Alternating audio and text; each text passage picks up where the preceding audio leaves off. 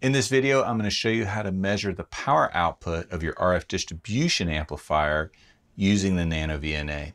This can be very helpful for troubleshooting and also making sure that the outputs are all operating to spec and or setting a link budget.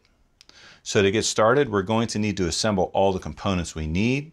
Obviously, which is first the Nano VNA, which I have calibrated from 470 megahertz to 1 gigahertz, which is the specifications of the Deity SRD.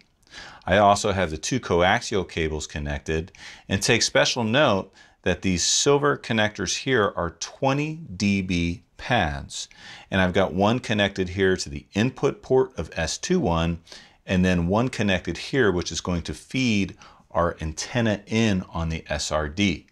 The input of the antenna of your RF distribution amp is used to a very low level, so this allows us to keep us from overloading the front end of the antenna input of the RF distribution amp and also to not overload the front end of the Nano VNA.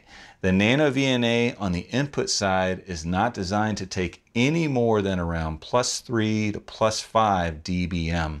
So we could easily exceed that when measuring an RF distribution amp or transmitter. So you always want to use a pad to avoid damaging the unit. You can find links to all of these adapters in the description of the video according to the category to help you make these measurements.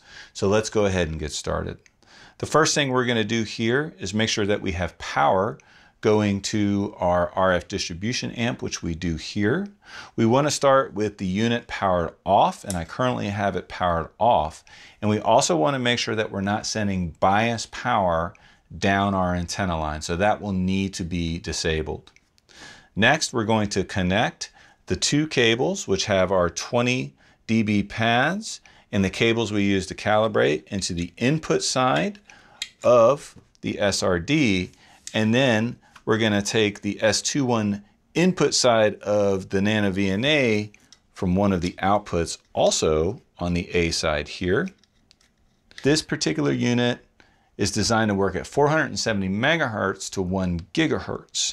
And also, according to the manufacturer specification, it has a plus 3 dB to plus 9 dB output gain. Now, we don't know where that gain is or what frequency or how it works, nor have we checked it on the VNA, which will measure this specifically. So this is a very helpful measurement when working with RF distribution amps to see what you're actually getting. Now that our connections are made to the RF distribution amp, we're ready to set up the settings on the Nano VNA. The first thing we're going to do is recall the calibration from the 470 to 1 gigahertz for our measurement of this RF distribution amp.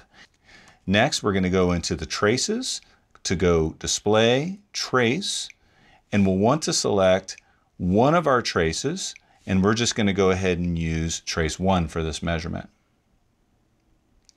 Next, we'll go back and we're going to make sure that A, we're using S21 as a log mag measurement and the log mag is selected. And then we're going to make sure that our channel says S21 through here. So if yours says S11 reflective or reflection, you want to click it so it says S21 through here. The next thing we need to do is we need to input an offset for the 40 dB worth of pad that we put on the input and output side of the Nano VNA. To do this, we're going to go into the S21 offset and we're going to do 40 and press enter. Now we have a 40 dB pad reference or a 40 dB offset so when we're looking at the Nano VNA we're going to get the correct measurement. Now that we have all these settings set, we're ready to go ahead and turn on the Deity SRD. So we'll go ahead and do that, making sure that we're not enabling bias power just for safety. And we should have our measurement. One more thing I'm going to do here before we take a look at this measurement is I'm going to change the scale. Our scale currently goes all the way down to minus 20, and I don't need it to go down that far because really what I'm looking at is gain. So to change the scale, I'm going to go into display, and under the trace here we have selected, we have scale as well. And on the top, we can go ahead and choose 10, but on the bottom, we're just gonna go ahead and choose zero. And notice that our curve is much more readable.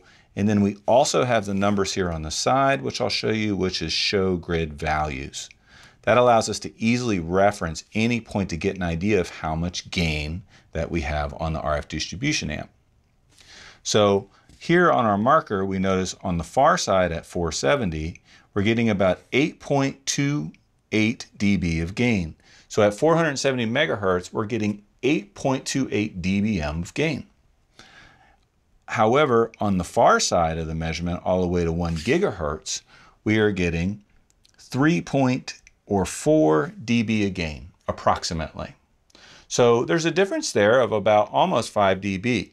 A couple little cool helpful hints here is we can also go back in here to go back and then go into markers by pressing marker on the main menu and we can actually search for the maximum and minimum. So we press search for maximum, we're going to see here that our maximum gain currently is around 8.21 dB. And then if we click again for minimum, then we can see that our minimum, our minimum gain is around 2 dB and also see what the frequency in which the minimum gain is, which is around 886 megahertz. And our maximum gain is right around 487.225 megahertz. So ideally you would go through each one of these outputs on your RF distribution amp to check the specifications this is pretty close because according to the manufacturer, it's anywhere from a plus three to plus nine output. And that obviously is according to frequency, but you can see here and measure each individual output to make sure everything is measuring the spec. Thanks for watching this video. Be sure to subscribe so you can get notified about future videos on this VNA playlist and others, and we'll see you soon.